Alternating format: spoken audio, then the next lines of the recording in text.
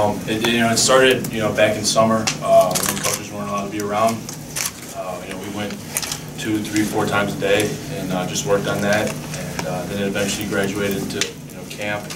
And then this season, it's, it's starting to show that the work we put in, uh, is paying off. Um, you know, I have to say, uh, I learned a lot under Jehu and, uh, Darboh when they were here. And, being able to play as like a freshman back in 2015 really helped me because I made a lot of mistakes that I learned from. So now when I'm on the field, you know, as a veteran, um, I, I see those before they happen, and, uh, and I'm able to, you know, just work in the offense and, and do what I'm supposed to do. And when it comes to, you know, being the veteran, quote unquote, of the, of the group, um, I take pride in that. Um, you know, we, we stay after, we watch extra film, uh, we do extra work.